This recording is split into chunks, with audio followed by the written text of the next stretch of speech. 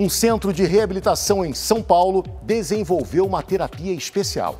Com atividades na cozinha, os deficientes físicos estão ganhando um novo estímulo para continuar vivendo. Veja agora na reportagem de Ana Paula Neves.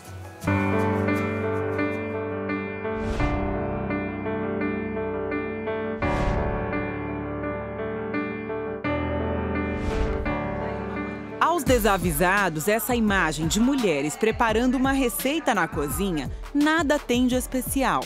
Mas as mulheres em questão, até pouco tempo atrás, tinham perdido a autonomia desses movimentos simples, como abrir um pote plástico, por exemplo.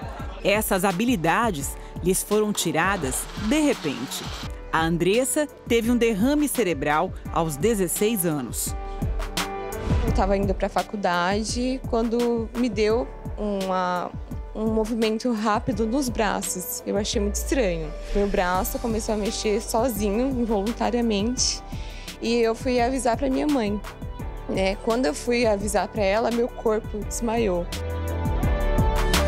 Para mim aquilo era uma coisa assim de idosos, tal.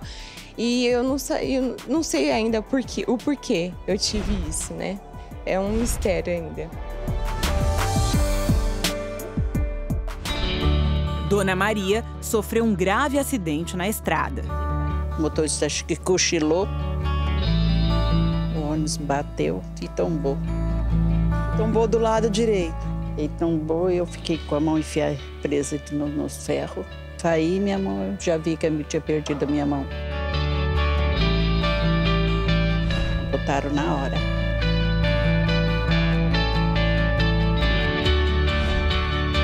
Faz um ano e meio que essas duas mulheres tiveram que reaprender a ser o que eram.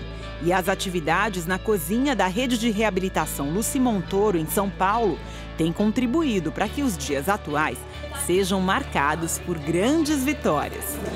Não, era tudo com a, com a mão direita. Agora que eu consigo com a mão esquerda. Andressa e Dona Maria estão em uma sessão de terapia ocupacional. Executam cada etapa de uma receita de bolo sob o olhar de uma profissional atenta a qualquer improviso. Cuidado para não ficar jogando, elevando muito esse ombro, tá? É, joga mais peso para cá também. Dona Maria quebra os três ovos com uma facilidade, fica toda toda. Olha a carinha de orgulho. A necessidade.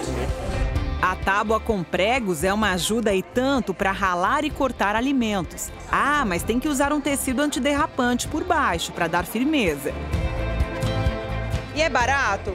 É bem barato. A gente encontra ele como jogo americano mesmo e a gente encontra ele em metragem.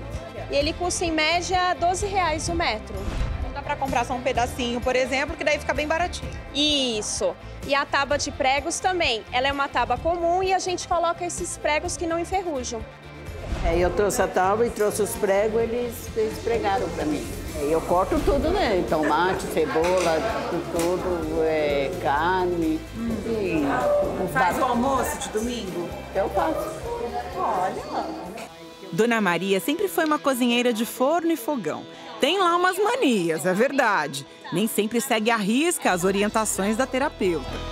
Agora, por exemplo, se ela utilizar aqui essa parte do braço para estar tá apoiando, ela já vai se colocar em risco porque vai estar tá muito próximo da faca. Não pode. Não pode. Eu coloco, ó, ela vai numa boa, ó, ó, corta, ó, e vai depressa.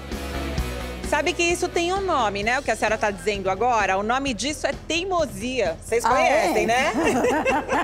Isso, é bem comum mesmo. E aí, às vezes, acontecem os acidentes Mas... e a gente até dá um puxão de orelha e fala: tá vendo? Eu avisei. Andressa é menos rebelde. Percebe que a mão direita, que ficou muito comprometida pelo AVC, voltou a ter firmeza com os exercícios aqui. Depois que eu fiz a re reabilitação, que ficou mais fácil. Já tem conseguido até mexer no fogão. É ela a responsável pela calda de chocolate e do bolo de cenoura que as duas estão preparando hoje. Então, nesses casos, a gente pode estar utilizando o fouet para mexer. Como a gente não tem, a gente vai utilizar esse adaptador da batedeira mesmo. Então, faz uma substituição aí. Ela vai te dar a colher de pau e usar o fouet. É bem mais prático. É mais prático? É. Que deu mais segurança, mais estabilidade, sabe? Os dias atuais são de gratidão, mas é impossível esquecer do passado de antes dos episódios que mudaram muito a vida das duas. Eu trabalho de diarista, né? Mas eu ganhava muito mais do que a minha aposentadoria. Agora hoje não trabalho mais, mal faço minhas coisinhas em casa, que o que dá para fazer e pronto. Andressa está com 19 anos, enfrentando as sequelas de um derrame cerebral tão jovem e tão forte para dar um passo de cada vez de novo. A hora que eu entrei no hospital, o médico me assustou muito, porque falou que ela não ia nem andar mais. Andressa, qual era a sua condição quando você saiu do hospital? Então, eu falava muito pouco, muito devagar, né? Eu não andava, né? Eu, minha, meu braço direito mexia muito pouquinho, né? E foi isso. Foi bem difícil. Na terapia ocupacional, dentro de uma cozinha adaptada, há muito mais do que exercícios e ingredientes para o feitio de um bolo. Eu avisei que essa imagem das duas mulheres nada tinha de comum. Quando a Dona Maria quebra os ovos, quebra também as barreiras do impossível. Quando a Andressa abre um pote, mexe os dedos, sinaliza para o próprio cérebro que é capaz de muito mais. Eu sinto livre. É? é. Saber que eu posso fazer tudo de novo, uma sensação assim de liberdade. Ah. Né? e eu com esse cotoquinho aqui, coloco ele para funcionar, lavo a louça, e tudo. Faz tudo. Dança até forró. Continua dançando forró? Deixa eu ver se a senhora dança mesmo. Ai, eu Fugiu! Pegou o grande momento, vamos experimentar esse bolo de cenoura com cobertura de chocolate. O cheiro tá bom, né? Vamos ver se as meninas mandaram bem aí no feitio.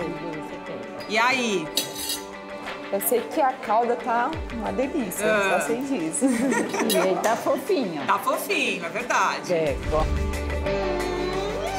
hum, arrasaram! Muito bem! Toca aí. Yes. Aê! E um bolo gostoso desse só combina com um bate-papo sobre futuro. Ah, eu me vejo mexendo essa mão, né? Que com certeza eu vou mexer ela, em nome de Jesus.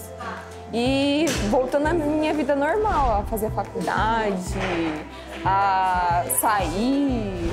Estou mostrando que a gente, uma mão só, a gente faz muita coisa. Faz tudo, só basta querer.